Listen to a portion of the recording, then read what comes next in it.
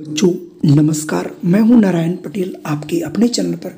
आज हम बात करेंगे जवाहर नवोदय विद्यालय प्रवेश परीक्षा कक्षा नौ के लिए, जिसका पेपर 11 फरवरी को होने वाला है। उसी के संदर्भ में आज हम 2018 का गणित का पेपर लाए हैं। बच्चों, इसी प्रकार से गणित का पेपर आता है तो आइए फटाफट इसको हम पूरा हल करेंगे और आप मेरे साथ बने रहे और देखिए किस प्रकार के प्रश्न आते हैं। और अगर आपने अभी तक कोई गाइड वगैरह नहीं खरीदी तो आप इस प्रश्नों को देख करके आप अंदाज़ा लगा सकते हैं किस प्रकार के प्रश्न आते हैं। तो देखिए, पहला प्रश्न है, माइनस चार का गुणात्मक प्रतिलोम होता है। तो गुणात्मक प्रतिलोम बच्चों होता है क्या? देखिए, ये माइनस आपका चार है। तो आपको एक ऐसी संख्या से गुणा करना है कि इसकी वैल्यू वन बन जाए। तो करते क्या है?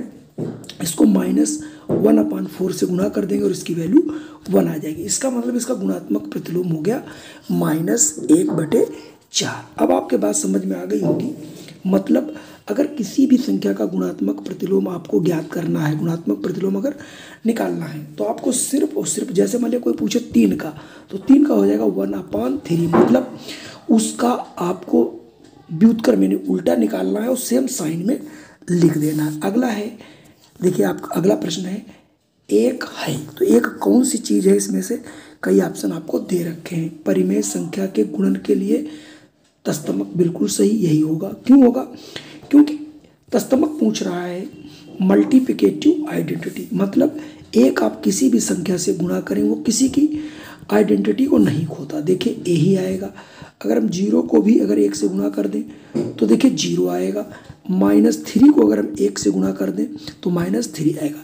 तो इसको बोलते हैं संख्याओं के गुणन का तस्तमक। ठीक है तो यहाँ से ऑप्शन ए सही होगा। चलिए, बढ़ते हैं अगले प्रश्न पर। अगला प्रश्न है पॉइंट ज़ीरो थ्री का घन घन मतलब इसको तीन बार आपको बच्चों गुणा करना तो आप यहाँ पॉइंट लगा लेंगे, देखिए। तो ये हो जाएगा zero three into zero three into zero three और सबके आगे आप डेसिमल लगा लेंगे। तो तीन तिया नौ तिया बच्चों आ जाएगा सत्ताईस, ठीक है? अब देखिए, दो दो, चार, दो छः छः अंक के बाद लगना है तो चार, तीन तो दो हो गया, तीन, चार पाँच और छः। तो इसका मतलब आ जाएगा point zero zero zero zero two seven तो जिसमें चार ज़ीरो आगे लगे हों, वो वाला आप यहाँ से देख लीजिए। तो देखिए ये ऑप्शन बी में बच्चों मिल रहा है। अगला प्रश्न आपके सामने है। यदि under root point one five two one बराबर एक्स तो एक्स की वैल्यू क्या होगा? इसका मतलब इसका अंडर रूट आपको निकालना है। तो बच्चों अंडर रूट आप कैसे निकालते हो? मैं आपको आज तरीका बताया दे रहा हूँ। ये अगर डेसिमल लगा तो यहाँ से आपको एक जोड़ा बना लेना, एक जोड़ा इधर। अब आप इसको क्या करिए? देखिए, तीन से जा रहा है तो थ्री थ्री जा नाइन एक पॉइंट लगा लीजिएगा, क्योंकि हम पॉइंट की संख्या यूज़ करेंगे। तीन तिहाई नौ आ जाएगा। आपका छः बचेगा, पूरा जोड़ा उतार दोगे टू और वन हो जाएगा। तो तीन और तीन हो जाएगा बच्चों छः अब छः का देखिए छः नवा चौवन नौ बार चला जाएगा, नाइन इंटू नाइन। तो ये करोगे आ जाएगा छः सौ इक्कीस। इसका मतलब इसका अगर हम अंडर रूट निकालेंगे तो आ जाएगा पॉइंट थ्री नाइन। यानी ऑप्शन देखिए बच्चों, सी वाला मिल रहा है। चलिए मैं बढ़ते हैं अगले प्रश्न की ओर। अगला प्रश्न है, निम्नांकित में से कौन सा एक पूर्ण घन नहीं है? मतलब तीन बार गुणा करने से नहीं बनाया जा सकता। तो ये देखिए बच्चों यहाँ पर, ये देखिए पाँच का घन है। पचम पच्चीस, पंज एक सौ पच्चीस, ये देखिए दो सौ सोलह, छः का है। छिचरंग छत्तीस, छक्का दो सौ सोलह होता है। और ये देखिए बच्चों, सात का हो सात सती उनचास सत्य तीन सौ तैतालीस। लेकिन ये किसी भी संख्या का घन नहीं है तो इसका मतलब यहाँ से ऑप्शन डी वाला सही होगा। अब देखिए यहाँ पर तीसरा वाला है, बहुत आसान है और इसे आप बहुत आसानी से निकाल भी सकते हो। देखिए बच्चों, तीन का है तो यहाँ पर एक जोड़ा इधर से बना लीजिए, ये तीन और एक, ये तीन। तो अब एक पॉइंट लगा लीजिए और ये ज़ीरो एक लगा लीजिए इसकी जगह। अब ये किसका है? देखिए नौ का है पॉइंट तो ये नौ नमा इक्यासी, नौ नमा इक्यासी नवैया होता है सात सौ उनतीस। तो इसका देखिए सीधे सीधे घन अगर निकालेंगे तो हो जाएगा पॉइंट ज़ीरो नाइन यानी ऑप्शन सी वाला सही होगा। अब देखिए अगला बच्चों, काफ़ी सरल है। चालीस छियानवे का अगर हम अंडर रूट निकालें तो आता है चौंसठ। तो चालीस छियानवे और इन दोनों का अंडर रूट पूछ रहा है। तो इसका अंडर रूट देखिए बच्चों, आ गया चौंसठ पहले वाले का तो मैंने चौंसठ लिख दीजिए। और प्लस दूसरे वाले का, एक डेसिमल यहाँ है, एक यहाँ है। मतलब एक संख्या पूर्णांक आएगी, दूसरा डेसिमल आएगा तो सिक्स पॉइंट फोर इसका भी आएगा, लेकिन डेसिमल यहाँ लग जाएगा। अब ये तुम्हारे पास हो गया चौंसठ में छः दशमलव चार जोड़ दोगे तो ज़ीरो, ये चार आ जाएगा बच्चों, और ये छः चार दस, यानी सत्तर दशमलव चार। तो सत्तर दशमलव चार ऑप्शन ए वाला बिल्कुल सही है। अगर मैं अगले प्रश्न की बात करूँ तो पूछ रहा सत्ताईस, चौंसठ, एक सौ पच्चीस, दो सौ सोलह टी मतलब अगली क्या होगी? अब आप ये देखिए, तीन का घन है बच्चों, तीन तीन होती है, सत्ताईस, चार का है, चार चक्कू, सोलह चक्कू, चौसठ पाँच का है, ये छः का है तो अगला सात का होगा। ठीक है तो अगर हम सात का करेंगे, सात सत्ती उनचास, सत्तर, तीन सौ तैतालीस, यानी ऑप्शन बी वाला हो जाएगा। इसका मतलब अगला ये टी की जगह पर सात की घात तीन होगा। अगला प्रश्न मैं देख लेता हूँ। थर्टी नाइन, ये भी एक बहुत अच्छा प्रश्न है।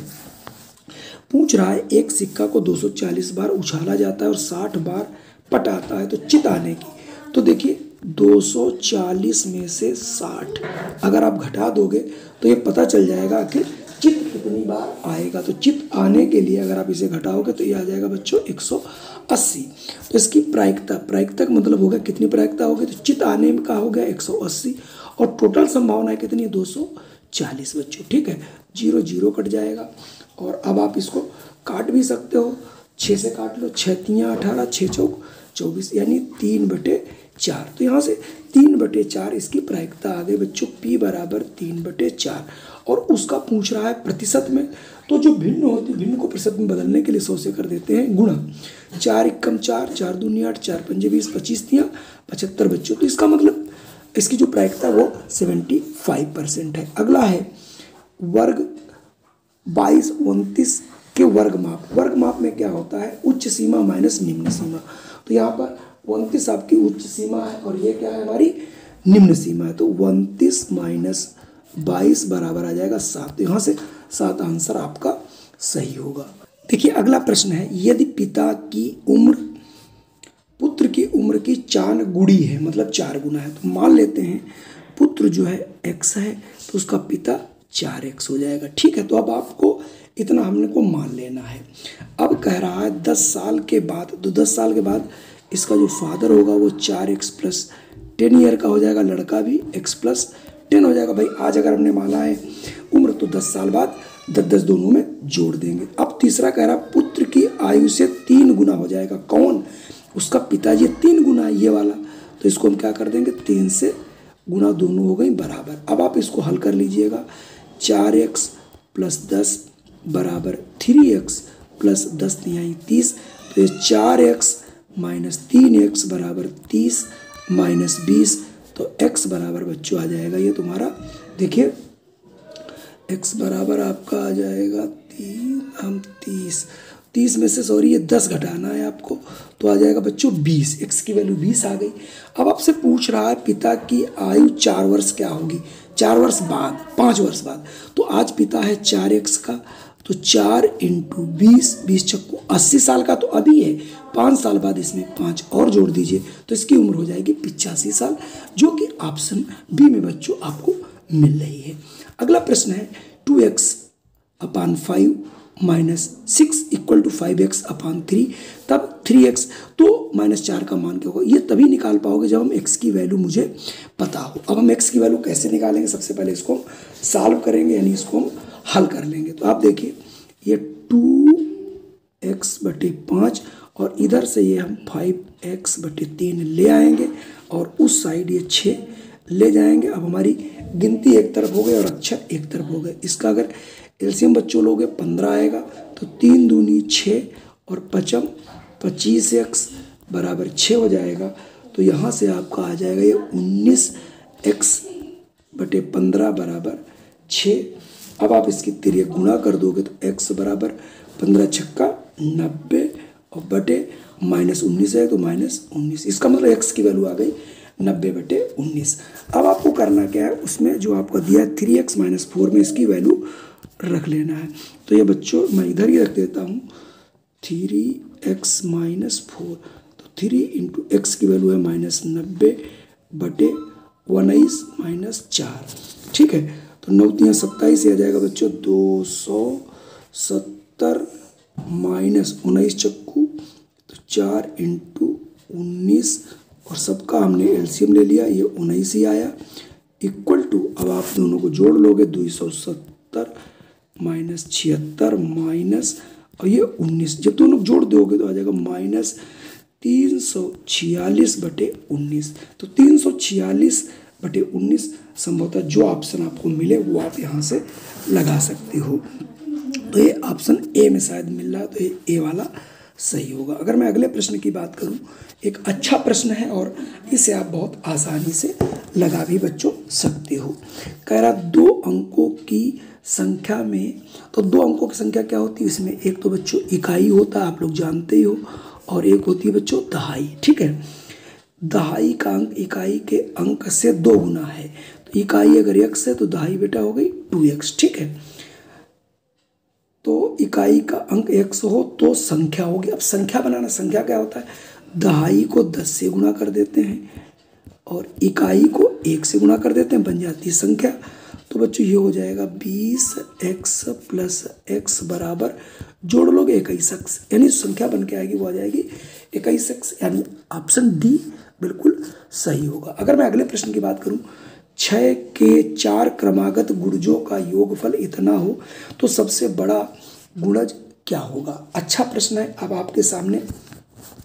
अगर आप इसे करना चाहें तो इसके देखिए, चार गुणज मान लें, वो भी छः के।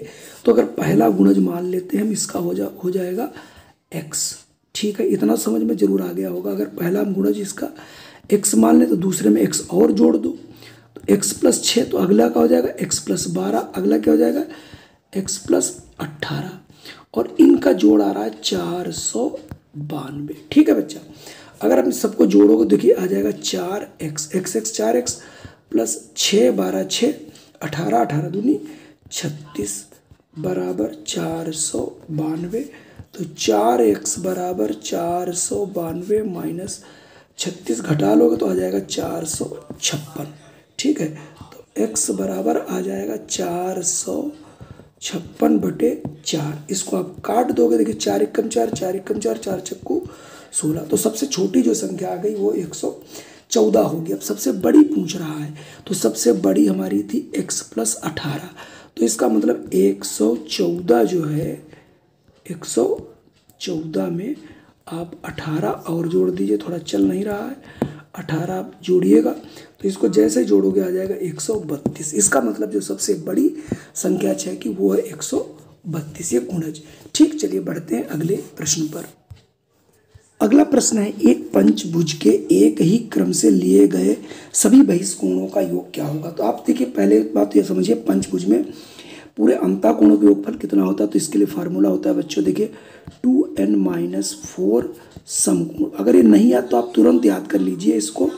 इससे कई सवाल आपको भी मिलेंगे। इसमें देखोगे एन है पाँच माइनस चार, समकोण की वैल्यू होती है नब्बे। तो दो पंजे दस माइनस चार इंटू नब्बे। बराबर आप करोगे तो दस में से चार चला गया छः छः नवैया, चौवन, यानी तीन सौ साठ डिग्री पूरा होगा यानी पंचभुज के सभी कोणों का योग हो गया तीन सौ साठ। छः नवक चौवन, सॉरी, पाँच सौ चालीस आना चाहिए था। आप थोड़ा ध्यान नहीं दिया। पाँच माइनस चार इंटू नब्बे था बच्चों, ठीक है? तो ये छः इंटू नौ तो नौ छाक चौवन, ठीक है? पाँच सौ चालीस तो इसका मतलब सभी कोणों का योग जो अंदर के पंचभुज होगा ये, है ना, ऐसे और ऐसे। तो इनका जो योग होगा ये पाँच सौ आपका चालीस हो गया। तो अगर आप, मैं पाँच सौ चालीस एक का है तो इसको हम चूँकि इसमें भुजाएँ कितनी? पाँच तो पाँच से भाग कर दोगे तो एक कोण बनेगा 108 डिग्री का। यानी सभी कोण 108 के हैं तो अब आप ऐसे समझ लीजिए, जो भी है ये ये 108 का है, ये वाला। तो बाहर का कितना होगा? ये पूरा 180 हुआ तो 180 180 माइनस एक सौ आठ, ये बराबर होता है बच्चों बहत्तर। यानी एक बहिष्कोण बनेगा बहत्तर, इसमें बनेगा कितने? पाँच। तो बहत्तर पंजे बच्चा होता है, तीन सौ साठ। इसका मतलब जो बहिष्कोण होता है, ए, जो पंचभुज होता है, उसके बहिष्कोणों का योगफल कितना होगा, वो होगा आपका तीन सौ साठ degree.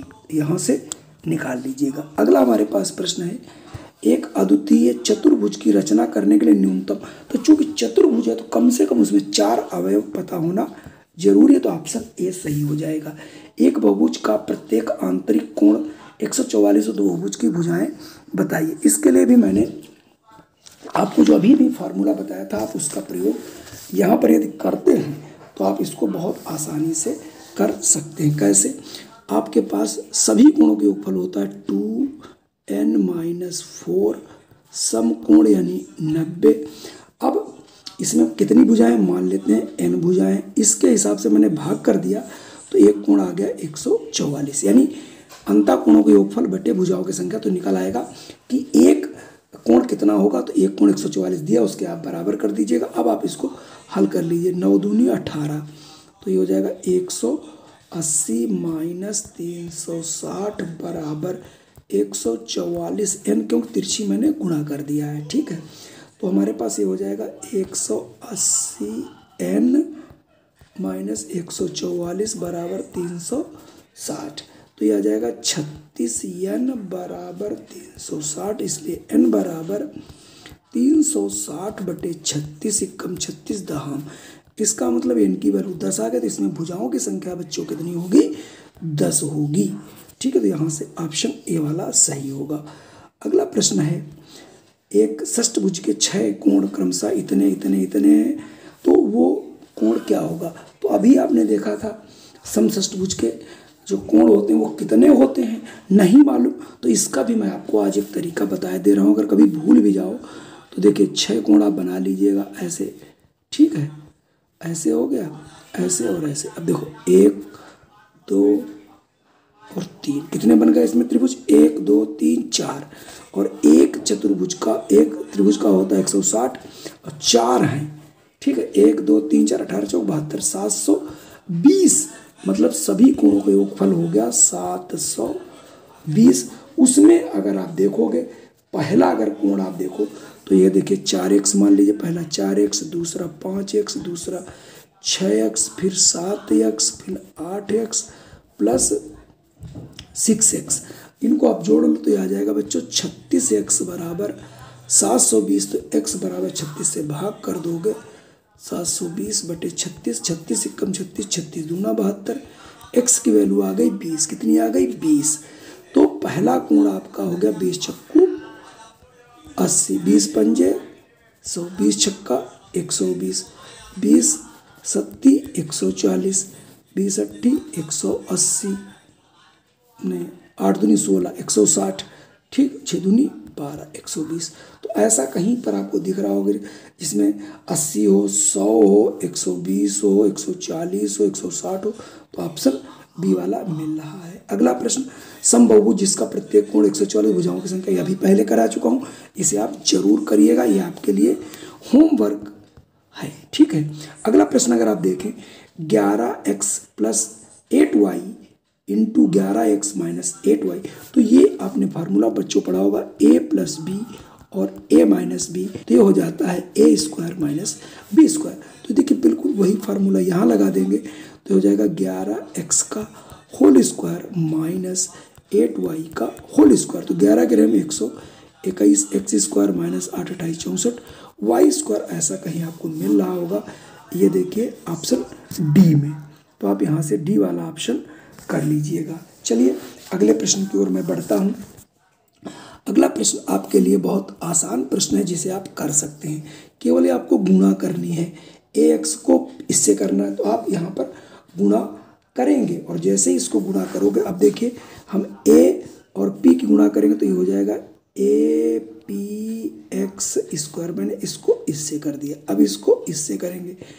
Minus a q x y थोड़ा सा लिखने में थोड़ा पीस इससे बी वाले इससे करोगे आप, इससे तो ये हो जाएगा plus b p x y अब इसको इससे करोगे minus b q y square ये देखिए ऑप्शन ए में आपका मिल रहा है। तो ठीक है यहाँ से ऑप्शन ए हो जाएगा, केवल आपको गुणा करनी है बच्चों। अगला देखिए, हमारे पास गुणनखंड करने हैं। सोलह एक्स स्क्वायर माइनस चालीस प्लस पच्चीस के गुणनखंड करिए। तो गुणनखंड करने के लिए आपको, मैं आपको बता दूँ, आज बहुत सरल तरीका a x plus b x plus c का जब भी गुणनखंड करते हैं, ए और सी की गुणा कर लीजिए। ए सी, अगर ये पॉजिटिव आता है तो इसके ऐसे दो गुणनखंड करिए जिनको जोड़ने से या घटाने से बीच वाला टर्म आ जाए। या और, अब यही वाला यहाँ पर लगेगा। अब आप देखिए, मैं सोलह और पच्चीस की गुणा करता हूँ, सोलह और पच्चीस की, जिससे हमें चालीस लाना है जोड़ करके। तो यहाँ से चार चक्कू सोलह पचम पच्चीस कर लो, चार पंजे बीस इंटू बीस और बीस प्लस बीस मिलके होता है बच्चों चालीस। अब देखिए कैसे करेंगे आप। यहाँ लिखोगे आप सोलह एक्स स्क्वायर माइनस के, इसको लिख दीजिए बीस एक्स माइनस बीस एक्स और प्लस पच्चीस। अब आप यहाँ से देखिए, चार एक्स कामन हो जाएगा तो ये बचेगा चार एक्स माइनस पाँच। माइनस यहाँ से देखिए बच्चों, पाँच पाँच कामन है केवल। पाँच को बीस पचम पच्चीस। तो ये देखिए, चार एक्स माइनस पाँच, चार एक्स माइनस पाँच। ये दो गुणनखंड इसके बनेंगे। यानी समान वाले बनेंगे, चार एक्स माइनस पाँच और चार एक्स माइनस पाँच, ऑप्शन डी। अब अगला आपको यहाँ से गुणा करना है। अब ये मैं आपको नहीं बताऊँगा। थ्री पॉइंट ज़ीरो नाइन और टू पॉइंट नाइन वन से गुणा करना। इतना तो आप कर ही सकते हो, ना मानो तो मैं आपको करके भी एक सेकंड में दिखा देता हूँ। नौ नमा इक्यासी आ जाएगा बच्चों, ठीक? अब इसको देखो, ऐड करोगे तो मैं आपको सरल बता रहा हूँ। देखिए, नौ आएगा, एक आएगा एक आएगा। तो जिसके लास्ट में वन, ये देखिए, नाइन है और वन है। तो नाइन और वन, यानी ये देखिए सी वाले में नाइन और वन, और ये तुम्हारा था गुणा इसकी ज़रूर करके देखिएगा, वही आंसर आपको आ जाएगा, ठीक है? जो कठिन प्रश्न वो मैं आपको ज़रूर बताऊँगा। अब देखिए fifteen one five nine a square b c को इतने से विभाजित करना यानी भाग करना ये तो बहुत आसान हो जाएगा। One five nine a square b c बटे three one eight a b अब ये देखिए, इसको आप वन जा और ये टू जा हो गया तो ये हो गया वन बाई टू आगे देखो, एक ए एक ए कट गया तो एक ए बच गया बी और बी कट गया पूरा तो यहाँ सी बच गया. तो ये हो गया ए सी तो इसका मतलब ए सी बाई टू तो ए सी बाई टू हमारा कहाँ पे है? ऑप्शन सी चलिए, बढ़ते हैं अगले प्रश्न पर. अगला प्रश्न है, यदि माइनस अट्ठाईस बटे उनतीस की पावर माइनस थ्री बराबर वाई तो वाई का मान होगा. अब देखिए यहाँ पर ये तीन बार है तो हम अगर एक बार करते हैं तो ये हो जाएगा माइनस माइनस उनतीस बटे अट्ठाईस, माइनस तो ये माइनस एक बार दो हो गया। फिर एक बार इसको ऊपर ले जाएँगे, इसको नीचे लेंगे तो दो एक बचेगा पुनः। यानी इसको तीन बार हमें करना पड़ेगा, तब जाके ये। तो इसका मतलब ये हुआ कि इसको ये पलट जाएगा, माइनस उनतीस बटे अट्ठाईस। हो जाएगा। क्यों? घातांक आप थोड़ा सा अगर पढ़ेंगे तो ये आपको मुँह जवानी सवाल लगा पाएँगे। तो कुल मिला के थोड़ा वीडियो बहुत बड़ा हो रहा है। तो आज के लिए इतना ही। अगला वीडियो मैं इसको और आपको हल कराऊँगा। जय हिंद, बंद